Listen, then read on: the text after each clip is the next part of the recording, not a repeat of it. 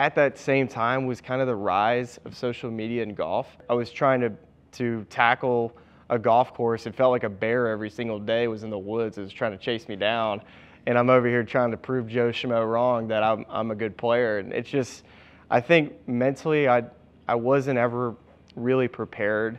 Um, nobody's I, I've never had anybody tell me that I'd suck, and I think for so long I didn't know how to cope with that. Um, I think it led to some anxiety that I didn't realize was anxiety at the time. Um, I don't think people really talked too much about anxiety at the time. Like there was no players that were coming up, uh, you know, speaking about mental health. But really, I uh, mentally, I was I was fighting a battle every single day uh, to try to prove to everybody that I was that I was, you know, still a good player. And it just it, it was overwhelming.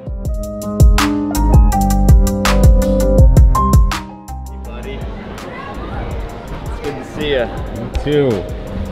How was it? Vegas last night. Vegas last night. The 12:58 a.m. flight out of Vegas is uh, a pretty dystopian place to be.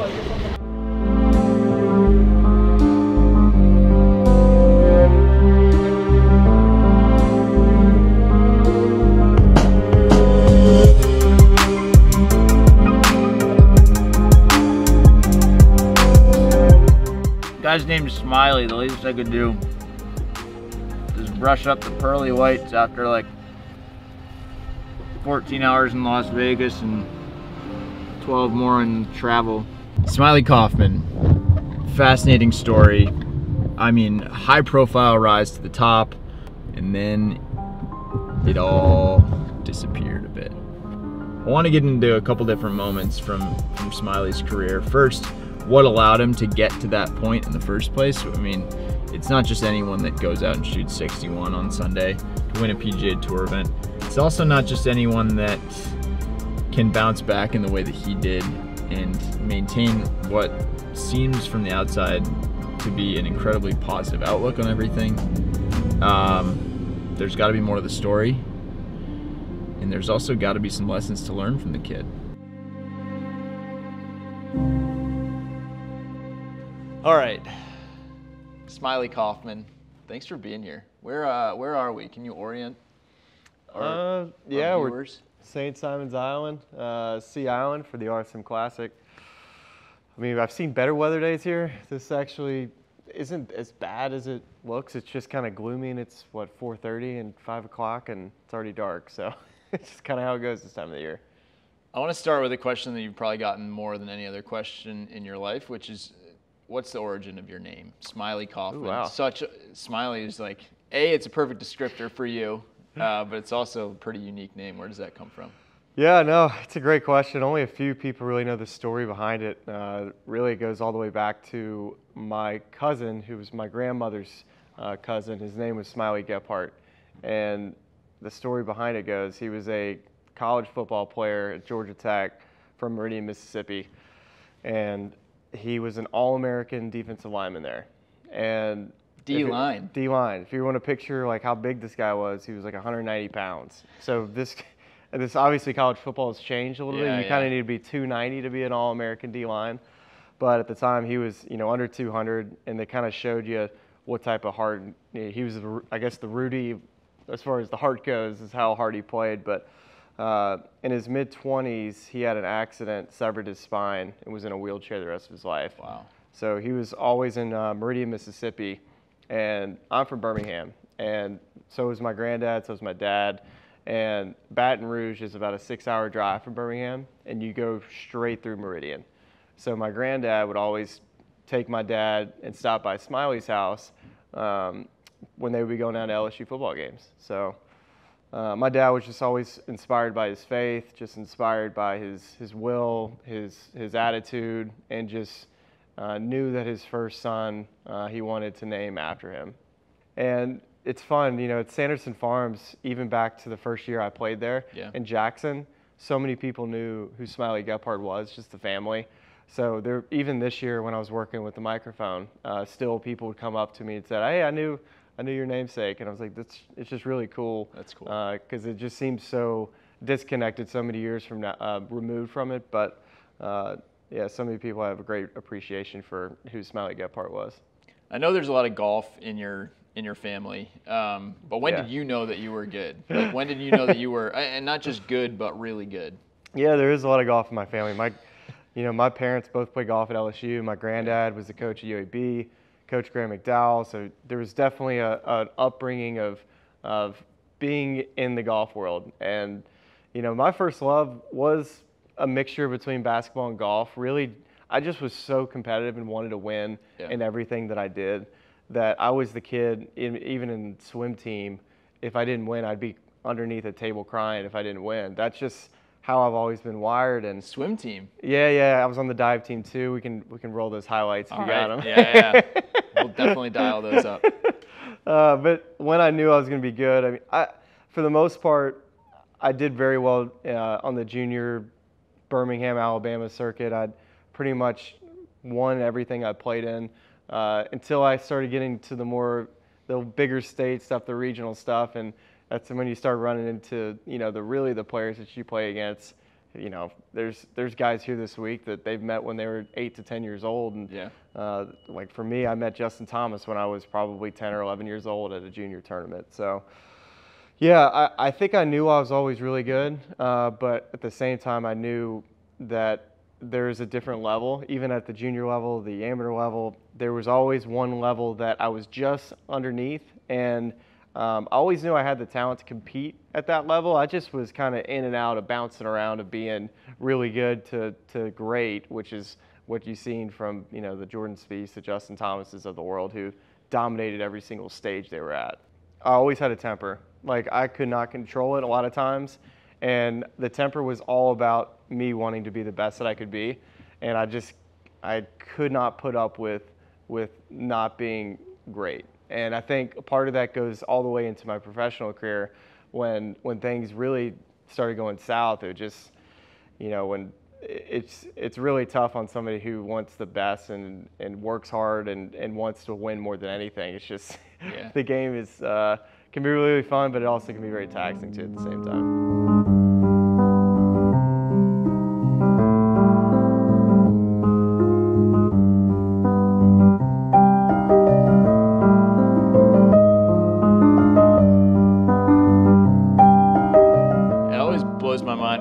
Guess, pro athletes in any sport, but for sure in golf, thinking about, okay, anyone that's out here was beating the hell out of whoever they played in high school, like just beating the crap out of everyone. And so it's got to inevitably be an adjustment to like get out here and, you know, maybe you're not the best one out here. Yeah. But you you started hot. Like you all right, I mean you're what, your your Korn Ferry season in 2015 was really good. You had Mm-hmm. a handful of top fives. You had a win. You finished I think sixth that year. Yeah.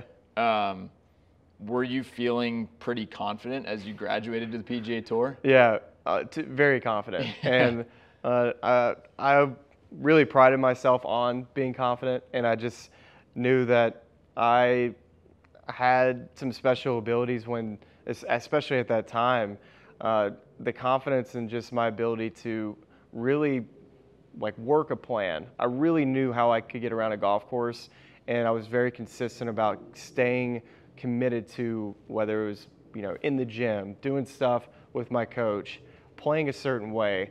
I never deviated from the plan, and and over time that built confidence to me, and it started at LSU with my coach uh, Chuck Winstead, and he gave me a lot of confidence, just in a belief that if I got it on the green more often than everybody else, that I would beat him. And that was kind of the attitude I took. And the first time I got to go up against pros the, was at the U.S. Open. I uh, got through locals, got through sectionals, and then I got to uh, U.S. Open at Pinehurst, which is where we're going to be going this year. I got to play with so many great pros, and watching them play up close was like, I'm better than this guy. And I really believe that. Now, the experience factor was an issue because at that US Open, not only did I play too much, I played Sunday, Monday, Tuesday, Wednesday, 18 holes every Every day, day. every single day. And it was, You'd played a full tournament. it was 90 degrees out. We get there on Thursday, and I can't figure out why I'm so worn out. it just, yeah, I had a lot to learn in the professional game, but like you said, the, I did get off to a hot start and a lot of belief. Uh, I really, uh, really had a great team around me, and they helped, you know, give me a lot of confidence as well. But uh, definitely took advantage of opportunities early. Yeah, and, and did it help or, or I don't know, like light a fire under you that some of the guys your age were already doing big time things around you? Those guys, Justin and Jordan, or whoever you want to say, Patrick Rodgers, those were the guys I was competing against. They were just light years ahead of me as far as just what they were able to do in college until my senior year. And that it was actually not even the fall. I, I played only once or twice in the fall. I remember calling my dad saying like I he was asking starting about getting questions about getting set up professionally to get you know all you know whether it's money all just getting set up and, Yeah. and comfortable for when you are going to turn pro. I was like, Dad, I don't know if I'm going to turn pro. I, at the time, you know, I I hadn't seen any enough to to invest you know time and money that I was going to make it out there. And two months later, I, I, I had all the confidence in the world. I'm making the golf team uh, week in, week out. I feel like I'm the best player on our team at the time. I'm shooting the best scores. And then we get uh, all the way to SECs, which was here. And I finished second at SECs. And that was the moment I'm like, okay, there's, there's a little bit more to this. And then end up qualifying for the US Open soon after. Um, but yeah, no, that's all around that time is when I was like, wait, I, maybe I can beat Justin or Jordan or those Yeah. guys at the time. But uh, at, I mean, I think that was probably close to the year that Jordan had won. You know, how many times? Well, 2014 or 15 is Yeah, when he really went off. yeah. so like that wasn't even on my radar. I, you know, I'm still squeezing out a Subway meal for lunch, and you know, at, at LSU. So Yeah. It's Uh, funny though with perspective though, right? Like at the time you probably felt like you were so old, but then now looking back, you're what? You're like 24. oh yeah, right? Had yeah. All, all the time in the very world. young, very very young, and it's crazy just looking back at those two guys that I keep bringing them up because, uh, you know, I remember watching Jordan play at it was Tigers event, but it would have been at like Sherwood, you know, like that's Yeah. that's it. I was so far removed from those guys that they were in a different atmosphere. I remember the first time I had seen them was probably my rookie year, and it just seemed like I hadn't seen them in 20 years. and they, I'm like, I've been seeing you guys on TV. You've been Yeah, doing yeah. pretty good. What do you remember about the week of your win? Ooh. Um, so that would have been. Uh, I can't remember what month it was. It was either October or November. Yeah, I was just looking at it. You won on my birthday, October Yeah. 25th. Yeah, I knew it was a good day. Yeah, yeah.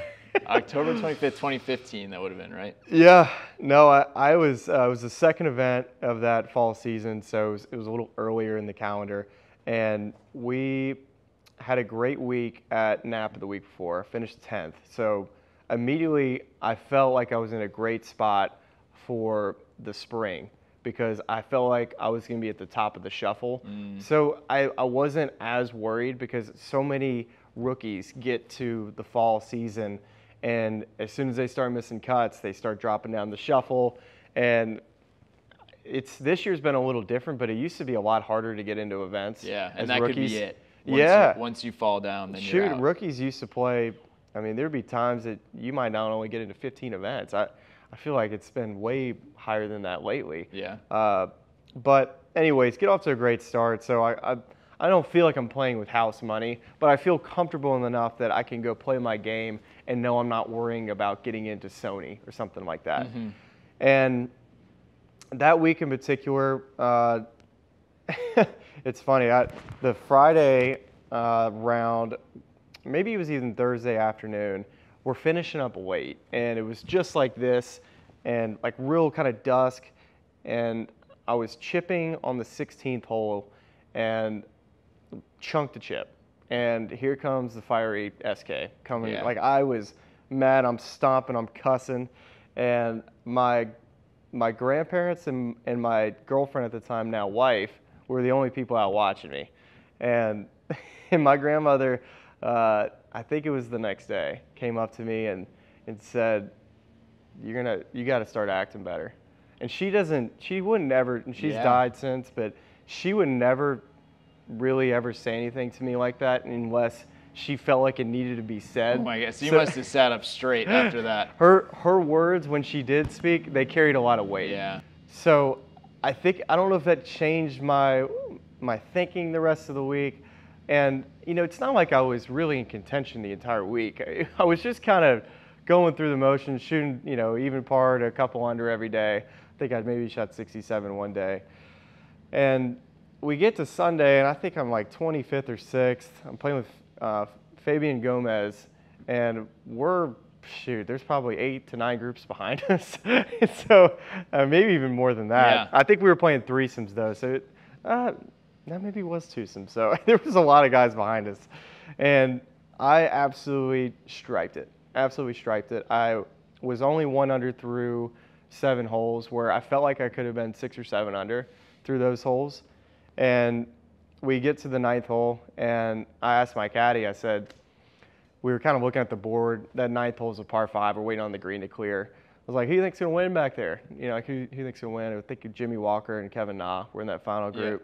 And he said, I, I think we still have something to say about this tournament. And it's like, I'll have what you're having. you know, like, like that, th- winning wasn't even on my radar by any means. And, and then I think the next 11 holes, I was like nine or nine under or something. Yeah. The next 11 holes, that sounds about right. 61. Yeah, yeah, 61. Uh, kind of blacked out a little bit.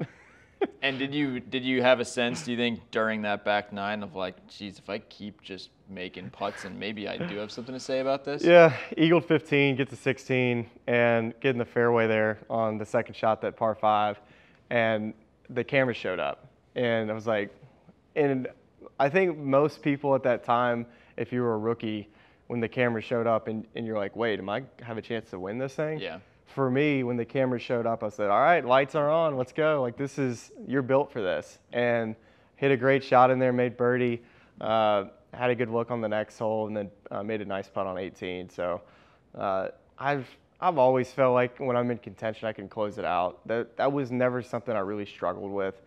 Um, I had a couple couple opportunities on tour uh, in final groups. One being at the BMW in Boston, where a hurricane came through uh, on Sunday. Yeah. It kind of screwed screwed everything up. I was playing too well. Uh, they caught, really cost me a chance to make it to East Lake that year.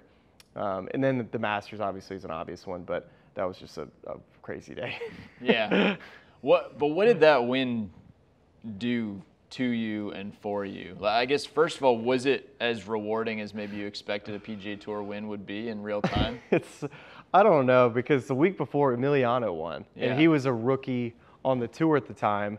And I remember telling Emiliano in the in the in the locker room that week, it's like, dude, you won Who Wants to Be a Millionaire last week. And so when I won, it was just like, oh, you know, this is great. And I'll, I've never been a person to check my bank account. If I did, it was just to make sure I had enough money to to, to get by. Yeah. So I've, I've never been somebody to be infatuated by by dollars. So you know, for me, it, it it didn't necessarily change me because I I was still living at home for. Let's see, that was in October. I was still living at home until May of the following year. Yeah. How about in the way you thought about yourself, like your your perception of yourself as a golfer? Did that change expectations at all?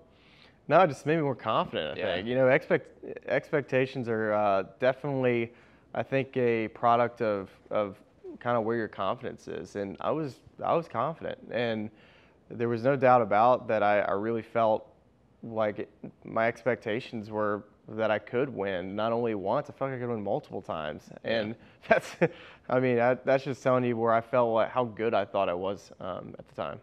And then, all right, not to take you through what was probably a pretty unpleasant day, but well, first a really pleasant day. Saturday at the Masters that year, you shot the low round of the day. Really hard conditions. I think you shot uh, three under, Yeah. 69. Got some crystal. Low round. oh yeah, and uh, and you played your way into the final group. Did, like, did that moment feel as crazy as we would think from the outside, or like you said, you were just riding this confident high? So it was just like, no, this is just what I do. it really the whole week was just uh, it was a dream and I, I think i tell people all the time if you're going to play the masters once you might as well have the full experience and let me tell you i had the full freaking experience Yeah. it started Uh, it started in really on on Wednesday at the par three deal. Probably one of the more electric Wednesday par three days of all time. Hole in ones were happening everywhere.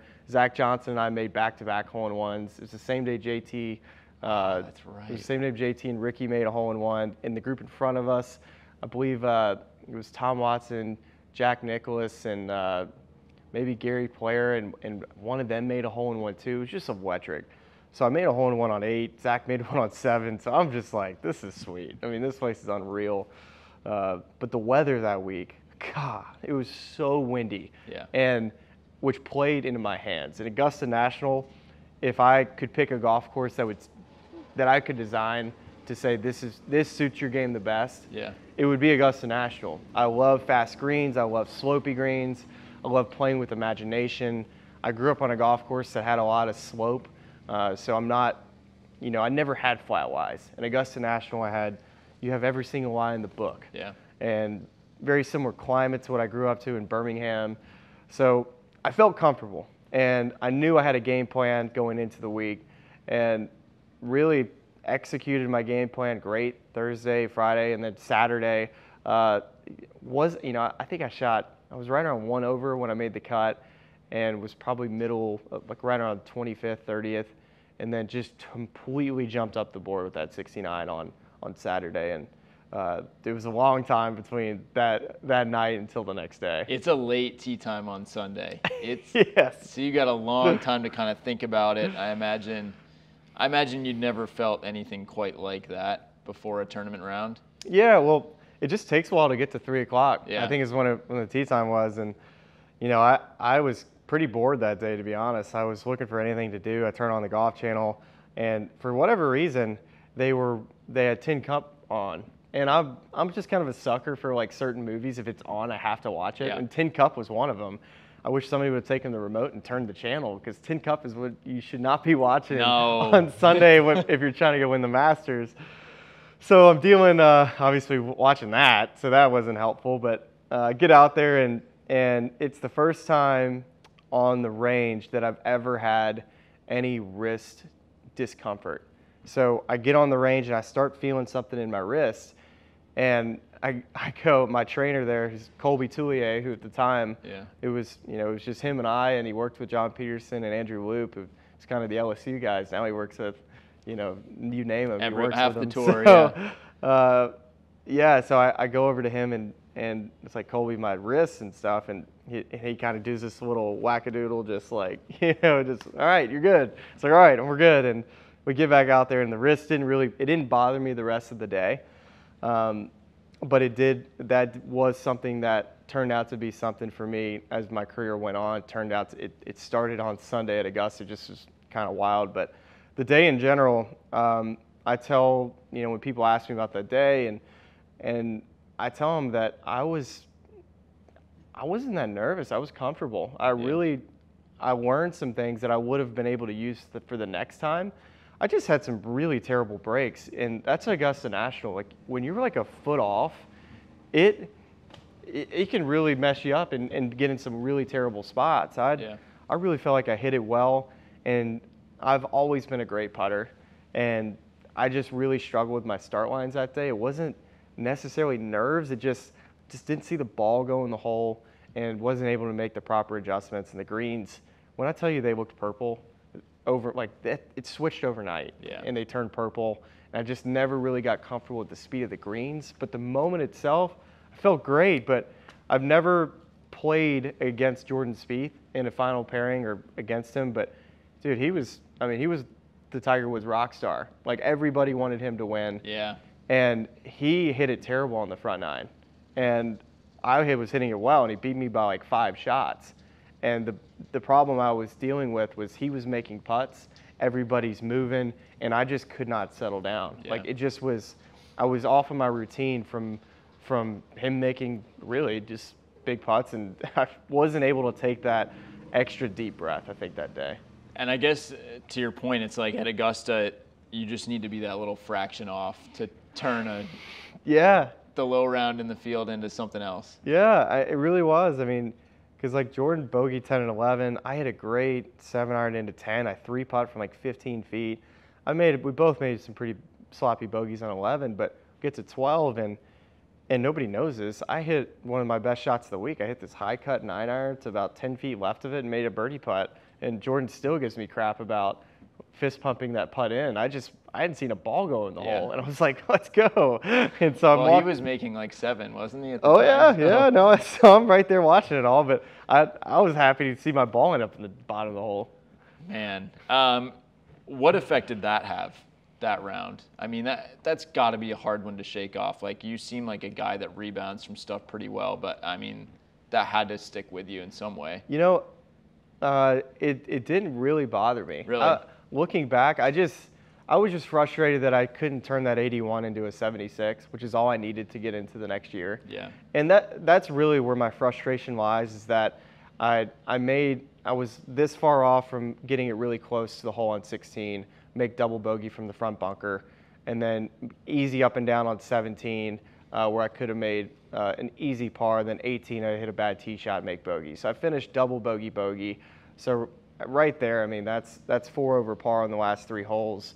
So we could have at least gotten it back to five over there, and then God, there was a million shots before that that I could have saved that could at least got me into Augusta in the next year. But from a mental standpoint, I, I thought I had learned so much that it that I was going to be able to use those experiences for the next time. That I was like, dude, I got my first Masters. I made it to the final group. Yeah, nothing went my way today. I was able to feel like flush it and uh, be able to, you know, get it the next time. But that's when all the risk stuff really started to flare up right after that. Yeah. So uh, when you think about that time in your career and you know breaking into the top 50 in the world, getting into all these special places, becoming a PGA Tour winner, were there relationships that you leaned on to, to get you there, or maybe you didn't even know you were leaning on them, but they supported you in a way that, that helped you get there? Yeah, like I said earlier, I had a great team around me, and uh, just people that really could hold me accountable. Uh, I think so often in, in, the, in this game of golf, you need people that are great teachers around you, but you need people that can communicate with you and know when wh- when to push your buttons, when to really step off the gas, and and when to like really dig in and work on something. And so I really had some great mentors with that from my team, uh, but I also had other PGA Tour players as well that pushed me as well, just from the LSU side, like Andrew Loupe and John Peterson were big mentors of mine. But Graham McDowell uh, played for my granddad at UAB. He was a guy that I would try to play practice rounds with, pick his brain, and so many things that I do on the golf course are things I learned from Graham McDowell. So. Uh, plenty of mentors. Keegan Bradley was always great to me uh, as well. But yeah, really just uh, so many people poured time and, and effort into my life, especially during those during those years, and uh, definitely forever grateful because I feel like I was able to take advantage of some opportunities. Here we have Smylie Kaufman, Curt Byrum here, calling, calling the shot. Good. That's good. That's good. Here we are for scorecard update. Jason Thomas up 100. Jordan Spieth down 60. Rickie Fowler down 60. Exactly how to categorize like the next few years, but they weren't as good That's on the golf course. you can put that. Yeah, that's fair. um, do you attribute a lot of that back to the wrist injury and how you how you dealt with it or or didn't deal with it? Yeah, no, I think if you asked uh, my swing coach at the time, Tony Ruggiero, he would tell you that because really it was ball striking that got started getting me Yeah. off, and he would say he, that the wrist stuff really led me down some paths that um, I was trying to find some stuff that really it was more my wrist that was preventing me to um, to be able to kind of do the things that we were trying to do in the golf swing. Uh, so that led me to eventually starting to eventually leave Tony to go see if I could find something else to figure out um, what I was what I couldn't figure out with Tony, which there was nothing that like we there wasn't any special sauce anywhere really because I figured figured that out years later um, that you know I probably went to six or eight teachers got incredible advice from so many of them like I my golf swing today now I I don't I don't see anybody anymore. I, I went to too many teachers got too many lessons where I finally realized like you know what? I, I'm good enough as I am. Um, and now all of, I've gotten so many lessons from each coach that all I'll kind of bounce off who I want to like use today in my head. Like, so I'm gonna go play with you today. I'm like, you know what? I'm gonna go over the stuff I learned from, from Scott Hamilton. Him and I, me and Scotty Ham. I got, I remember everything we worked on, uh, and I would say that the physical uh, injuries that I had led to a lot of the mental hurdles that I was eventually having to deal with. And at that same time was kind of the rise of social media in golf. You know, I just come up, you know, there were plenty of players that had so many more followers in the PGA Tour. Like, the, like there were, I feel like the players were more popular than like the PGA Tour socials at the time. yeah, It just- sure. Like it's- Poulter and it's Stewart Cink. Exactly, and it's changed. It's changed. Yeah. It's changed, and uh, I, I saw the best and worst of it in such a snapshot of, of a couple years. You know, I kind of came like everybody figured out who I was, whether it was from winning in Las Vegas, with whether it was Augusta, or two weeks later with uh, the boys down at the Bahamas. Yeah. And, and that's kind of where people know me from at the time. And and then those last the two or three years after that, I I think people always thought I compared my game to those three players and was trying to chase those guys down and, and be at those guys' level. And I did when I was playing well, I did I did feel like I was at their level. But when I started getting injured and I wasn't playing as well, I wasn't even close to their level. So I was just trying. uh, Not only was I trying to to play better. I was trying to to tackle a golf course. It felt like a bear every single day was in the woods. It was trying to chase me down, and I'm over here trying to prove Joe Schmo wrong that I'm I'm a good player. And it's just, I think mentally I I wasn't ever really prepared. Um, nobody's I, I've never had anybody tell me that I'd suck, and I think for so long I didn't know how to cope with that. Um, I think it led to some anxiety that I didn't realize was anxiety at the time. Um, I don't think people really talked too much about anxiety at the time. Like there was no players that Yeah. were coming up, uh, you know, speaking about mental health. But really, I uh, mentally I was I was fighting a battle every single day uh, to try to prove to everybody that I was that I was you know still a good player, and it just it, it was overwhelming. Yeah, I mean, I promise this is the only time that I'll compare my golf game to yours. But you know, I've played mini tours for a couple of years. I missed a bunch of cuts in a row on like the Canadian tour one summer, and I remember thinking like, I'm like a bad person. Like this, it, it, it's crazy how easily your score can can wrap up in the rest of everything you have going on. And no one was paying attention to any scores I was shooting. No. This was just for me. Yeah, everybody's So I can only me. Yeah. imagine how that must have felt and how hard it must have been to separate like what's going on on the golf course from everything else in your life. Yeah, no, it was. It was very difficult. Um, I think Brooks Koepka probably said it best in the full swing doc, just talking about how he couldn't get away from the game when he went home. Yeah. And that was me for five years. Couldn't get away from the game. Just up night late, uh, couldn't go to bed. I'd, I'd either be thinking about what I'm going to do the next day on the range to figure this out, or I'm thinking about just a nightmare shot that's like haunting me. It's like I can't, I, I don't know what happens in the, like Yeah. on this shot. And it was for me, it was a big right miss, and uh, really, it's it's like a quarterback. Uh, you know, when they get their play sheet in, and and or for instance, or even just like a baseball player, when they're when they're out on the mound and they can't figure out, they can't get command, and they're just throwing it everywhere. They have to like be able to make an adjustment. And so many guys out here, they hit balls, not to hit balls and see what the, golf ball looks like, but it's to figure out what the adjustment is. And I think any player that's played at an elite level knows you it's just you out there and you have to be able to run through three or four things to correct a ball flight.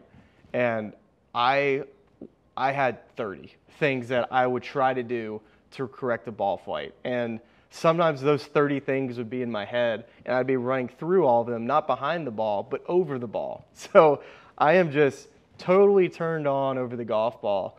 Um, and my biggest strength in golf when I was playing well was my creativity and feel. And when you're thinking constantly all day, you, you have no creativity and feel. And really, by the every Thursday felt like a Sunday, and I would be spent by the eighth hole, mentally, fatigued. Like I, I would get to 14 and be like mentally crawling because I just would be so worn out from because Monday, Tuesday, Wednesday. I mean, I'm sticking my hands in an ice bucket every night so I can go practice and hit balls. Uh, because I, I really truly believe that nobody practiced harder than I did for those probably three or four years. I mean, one of the reasons it seemed like such a good time to chat with you is because I feel like your story has a, a really positive turn in it. What happened next? Like, Yeah. you're doing pretty great right now. Yeah. At what point did you look into um, what could be a, a career in golf media or in broadcasting or being on TV? it it's never entered my brain. You know, Yeah. like this was never part of the plan. Uh, and even winning on the PGA Tour was never part of the plan. I would have loved to play on the PGA Tour, uh, but I wasn't somebody that had that that belief in college. I just wanted maybe an opportunity to play an event. So for me, I feel like I overexceeded my expectations on the PGA Tour. Now, when I got out there, I was like, wait, I, I can I can do so much more. But uh, I'm very happy with my professional career. I mean, I, I saw the highs and the lows, and, and so might as well touch it all when we're out there. But uh, as far as the TV stuff goes, uh, happened about a year and a half ago, and I, this is when I really started to open up more because for so long I was so secluded and um, and being able to speak out uh, really just with people around me. So it started with my wife uh, telling her, it's like, hey, if I need to start doing something else, like I don't look at the bills, I'm not somebody that looks at the money. Like, do I need to do anything else? And she's she's was like, you know, just just keep doing whatever you want to do, and I'll always support you. And um, I was just at the point where I'm like, is there something else? And my agent at the time, Jimmy Johnson, uh, I just called or texted him. I was like, hey man, like there's, if there's anything in whether it's calling golf or anything in media, just just throw a bone out there and see if anybody grabs it. Um, and we, it's funny, we, I worked with Massage Envy at the time, or maybe this was a year or two before that. And I was hosting this like show, and they had all these other ambassadors like Tony Finau, Brandt Snedeker, and they would come on my set, and I would interview them. And I think he turned in, and they, he turned in all that tape to, I think it was ESPN or something. And turns out they hired me from this Massage Envy ambassador set from saying like, okay, he's- he's got a yeah. personality, whatever. And they're like, we'll give you a shot. And I thought that shot was going to be like a studio deal at, uh, you know, the PGA Tour Live thing here. And they're like, wait, we need somebody to walk at Southern Hills for the PGA Championship. Yeah. And I was like, hold Straight on. to a major. I was like, wait, what are you talking about? Like straight to a major? Like, am I gonna seriously hold a mic at a, a major? I, like, how do you do it? What do you do? Like, and uh, I, I remember asking uh, a couple of people about just advice, and I think it was either Colt or somebody else that was like, yeah, man, it's a sink or swim deal. You either can do it or you can't. And I was like, okay, cool. Well, nothing to lose, so I'm just gonna go out there and do my best. And uh, that first hole, my in that tenth, or it was actually the tenth hole. Do you remember Southern Hills? Yeah, yeah, it 10th goes kind of down and then down the in a right. goalie. Yeah, yep. And so it was terrible with uh, the static. So I'm I can barely hear the guys that are back in the booth. And Will Zalatoris is who ends up going in a playoff that week with JT. He's in the rough, and he's got to hit over this smallish tree. The greens have been fairly firm all week. And they're like, "What- what's Will Zalatoris got? And it's my first call, my first call. And I'm like, well, I tell you what, not a great lie in the rough. I don't see how he can get this inside of 30 feet. And Willie Z gets up there and just goes whoosh, just like over the tree, and it comes out like a butterfly. And it lands up like just over that little front bunker and rolls to like four or five feet. and I said, well, that's a great start to my media career. I guess I, I it's either you can or can't do it, and I guess I can't do it. And it got better as the week went on, and I, I really uh, started to really enjoy it. And um, I've told uh, several folks as well that that week in particular, uh, the really it felt like the lid and just kind of kind of came off a little bit, and the fact that I felt for the first time like nobody's looking over my shoulder and talking about me. I just felt I just felt comfortable in my own skin for the first time, and I knew for whatever reason I was like I'm right where I should be. God, that's so cool. That's such a cool feeling. I remember thinking like, man, Smylie seems like he's getting comfortable out there. You're eating a hot dog on Yeah, camera at yeah. one point. It's a glizzy cam. That was that was a real highlight. Um, that's amazing that it happened so quickly. I mean, I guess Colt was right. You might not have been right about your first hole, but yeah, uh, you can you can either do it or you can. And I had so many people tell me quickly that I could do it. I was like, okay, I'll take your word for it. yeah, yeah. Well, and it seems like, I mean, obviously you have such good relationships with so many of the guys out there that that know you know what it's all like, and that you also just know them as people quite well. How has that been leaning on those guys?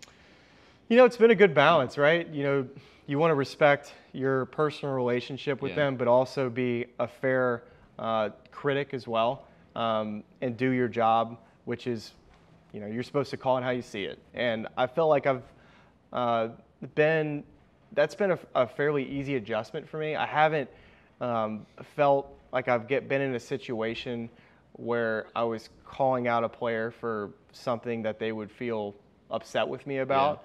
And the, the strategy I've taken with that is I would want, if it were you calling my stuff or, or calling about my golf shots, I just never wanted somebody to ever question my work ethic or the fact that, like, you know, th- I know you're trying hard. And that, that's something that I always hated is when people question my work ethic or didn't really understand or, ha- or be in the know about something, so just speculating. So I've tried to really, when I do find something out, I, I like to, you know, get to the source, similar to stuff that you obviously do, but, uh, and just keep those relationships and, and you know, I'm not one to, to, to be a big gosper when it comes to social media. I, I just, I, I respect the guys too much. I, I like calling golf. I like to hear their stories, what, you know, what's, what what their what bothers them, what their ups and downs are like, and you know I always feel like I it's a fun conversation anytime I get to speak with any of the players. Is a lot of the work that you then do week in and week out, you know, checking in with guys, finding out what they're working on, stuff like that, or, or what has been the biggest adjustment when it comes to just doing the job every week? Well, I just finished my year one, and I somebody had told me that the first year you're really going to understand what this job is all about. And I didn't believe him at the time because I'm like, you know what? I've already worked six events. I know what TV is all about. And it couldn't have been more right. I've learned so much this year on just really, first off, just our, our business and, and being an on course reporter and at times being an analyst just the verbiage coming in and out as far as you know timing with with certain things when the right time to say something is so you know that's that's obviously been a learning curve but um, sorry what was the original question i was Yeah, yeah. Just, was- what does the work consist of? I guess like what. Obviously, it's something that you know so well that a lot of it is just like staying natural and getting comfortable. Yeah. But it, you know, how do you balance that with doing whatever prep work you have to do? Yeah, no, the prep is, and that's something kind of goes back to, you know, this first year. I've, I've learned, you know, different strategies on, on when to talk to players, whether it's observing them or, you know, just really when to stay away. and I remember when I was playing, I always hated when I was warming up before a round, and whether the TV people right behind me or just, I always hated when like a ton of people were behind my bag when I'm trying to get ready for a round. Yeah. So I would try to avoid the range, but it's sometimes very difficult for us to, to get information that week about the player's game unless you're really out there with them on a practice round. But you don't know who's going to play well that week. So You can't be with everyone. You can't walk with everyone. that's Yeah. been the biggest challenge is is trying to figure out uh, what the what they're working on. You know what the last month or two has been like as far as just if they're trending or not, is if they just found something that week. So that's been something that I've I've kind of had to toy with how what that strategy's like to not annoy people because you know that's the last thing I want is for me to be walking up and, and people start turning away just because I asked too much questions. I guess. Sure, yeah, yeah. Oh God, you're Smylie again. There he Yeah. is, there he don't comes. Think, I don't think you're there.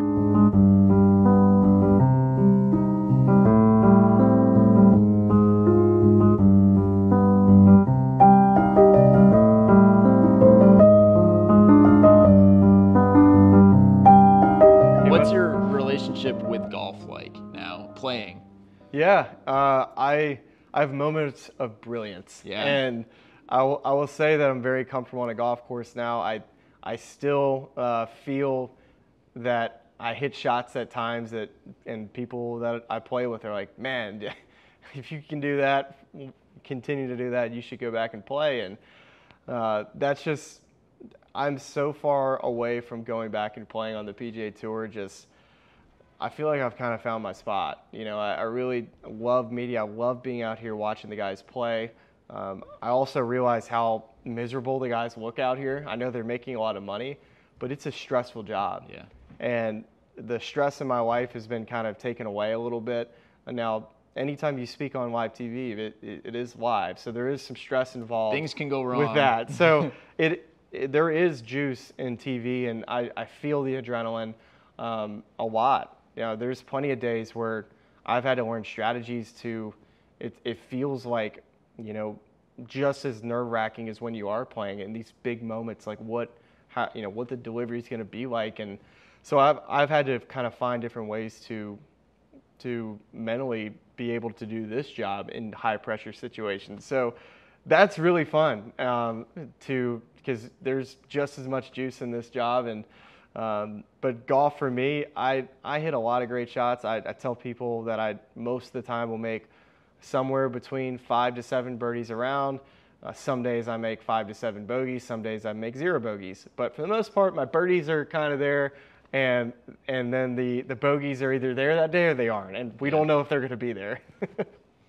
Looking back, is there anything that you that you would change that you say that you would say, you know, I wish I knew this earlier, or I wish I had approached this differently, or is it the sort of thing where, you know, it, it got you here, so therefore it was a good path?